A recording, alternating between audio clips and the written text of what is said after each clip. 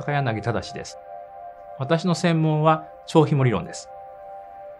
私たちの周りのマクロな物質、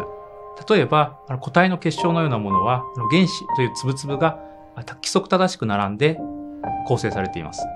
実は、あの我々の住んでいる宇宙も、まあ、同じように、まあ、ある粒々からできているようなことが最近の我々の研究の成果によって分かってきました。その粒はどういうものかと言いますと、まあ、情報、ミクロな情報、そういうのを量子ビットと言ったりします。ビットっていうのは例えば1ビット、2ビットっていう情報の単位なんですが、それがあのたくさん集まって、まあ、宇宙ができる。そういうアイディアが出てくるようになりました。で、私の研究では、このアイディアを使って、まあ、すごくミクロな宇宙が徐々に成長して、で、マクロな大きな宇宙になっていく、そういうプロセスを理解したいと思っています。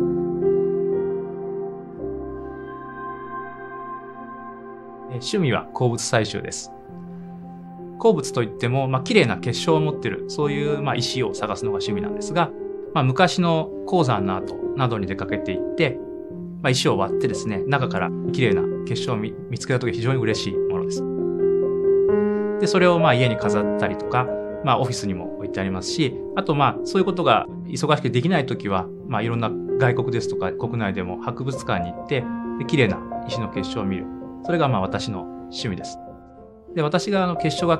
特に面白いと思うのは、まああの見かけがもちろん綺麗なんですが、その見かけが綺麗な結晶をしていると、綺麗な対称性があるというのは、実はミクロに見ると中に原子が非常に規則的に配列されているからと。そういう意味でミクロとマクロをこうつなぐと。そこに非常にあの感銘を受けるところで、まあ、私の研究も非常にそれと関わっています。研究がですね、こう行き詰まったりですね、いろいろ考えなきゃいけない時なんかは、まあ、周りを散歩したりですね、特にまあ私京都に住んでるので、歴史的にあのゆかりのある場所がたくさんありますので、そういうところをまあ散策したりして気分転換をしております。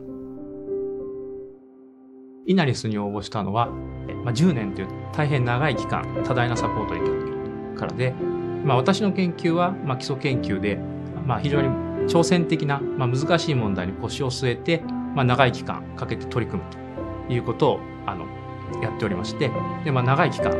サポートいただけるのは非常にありがたいです。で、このイナリスのサポートを受けまして、まああのまあ、我々の宇宙がですね、どうやって誕生したのか、そういう非常に根源的な問題をに、あのまあ長い期間かけてですね、チャレンジしたいと思います。